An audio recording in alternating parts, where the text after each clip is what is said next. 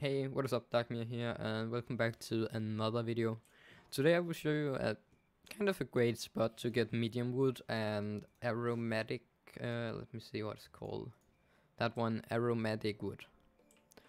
Um, it's right here in the area up at the Tidewater village. Um, here on the map, this area pretty much.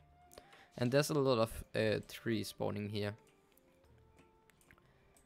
Um, but some people are doing it so if you can get it in the morning or um, late at night where not many people are on you're pretty certain to get all the uh, trees here and the the yeah there's usually a lot of them. So let me see if I can find one.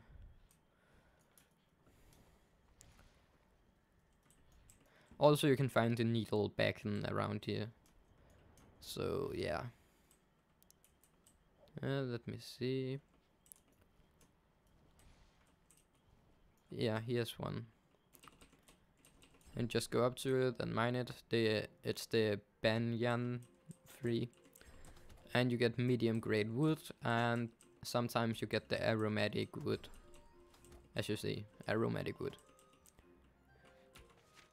It's in this area and there's a lot of it. And the retimes retime uh, on it is not that long, so it respawns pretty much all the time.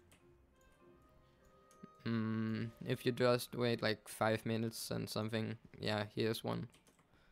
They keep popping up everywhere, so it's not that hard to get through. Um, yeah, but that's pretty much it. Um, how to get the medium wood, banyan trees, and aromatic wood.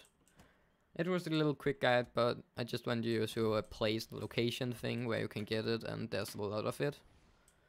Um, yeah.